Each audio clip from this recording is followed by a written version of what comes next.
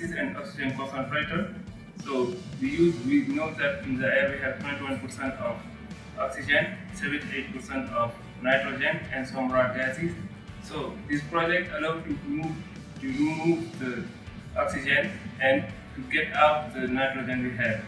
So what do we use to take off this nitrogen? We use zeolite. So zeolite has a volcanic origin and it has a lot of pores and these pores has have a diameter of 0.3 microns which is the same uh, diameter as the oxygen. So the oxygen can go through but the nitrogen which has zero, a diameter of 0.4 microns will be stored inside. So you can see uh, in this application, you can see uh, how many of these things you need and you can see uh, where you can get this shipped. And later, uh, we also have a fabrication guide to guide you through all the steps. So you just need to follow these steps. You can easily build uh, a machine of your own.